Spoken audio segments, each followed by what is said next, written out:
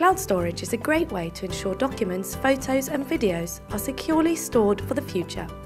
Rather than keeping your most important files on a computer or hard drive in your home, you upload them to a secure online server, making them available to any computer anywhere in the world. There are loads and loads of companies offering both free and paid for cloud services, and it can be hard to find a service that suits you. As with most things in life, there is no such thing as a free lunch, and this goes for free cloud storage too, so make sure you know the drawbacks of a free service before signing up. Some offer very small storage limits. Others impose maximum daily uploads or file size restrictions. You may find that you have to log in every 30 days to keep your account active, or that your service only stays free for 90 days. And some providers offer less security on their free accounts.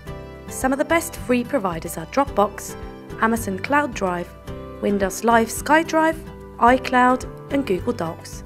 Broadband providers in the UK have also started to offer some good cloud storage options for their customers. For example, Virgin Media offers free automatic backups and 5 to 10 gigabytes of secure storage to all its customers. To find more information and to compare great broadband deals in your area, go to our website broadbandchoices.co.uk.